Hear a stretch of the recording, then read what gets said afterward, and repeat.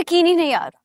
इफ्रा और उसकी दादी ने मुझे याद किया अरे मैम रानिया आपको अपनी खूबियों का अंदाज़ा ही नहीं है।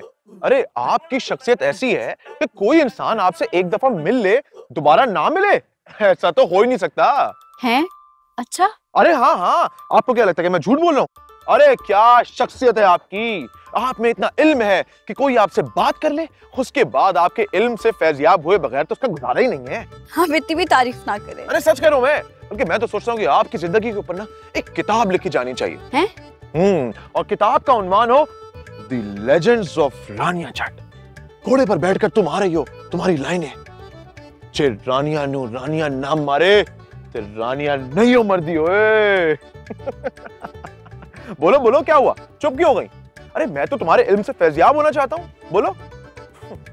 खुश फहमी प्लस गलत फहमी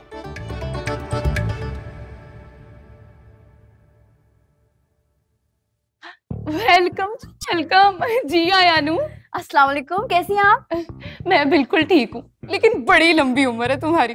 तुम्हें ही याद करी थी मैं। सोच रही थी इफ्रा से तुम्हारा नंबर लूँ और तुम्हें कॉल करूँ। तुम्हारी बातें तुम्हारी भोली शक्ल बड़ी याद आ रही थी। हाँ, हाय हीरो।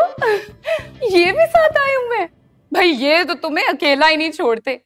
लेकिन रोज ना एक घंटे की क्लास देनी चाहिए तुम्हें इन्हें। भाई इनको भी थोड़ा हंसना मुस्कुराना सिखाओ। तुम्हारी पर्सनालिटी से तो बिल्कुल डिफरेंट है ये। दादी से मिल के आ रहा हूँ।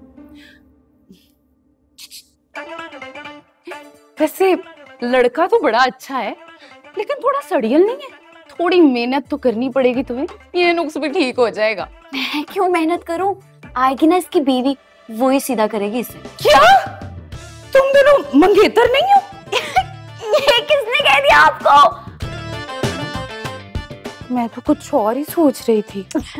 अच्छा अभी मैं जा रही हूँ दादी से मिलने। वापस आती हूँ आपके पास आपको खुद अपना नंबर देके जाऊँगी। जब जी चाहे मुझे कॉल कर लीजिएगा हैं? आप तो खुद इतनी क्यूट सी हैं। आती हूँ।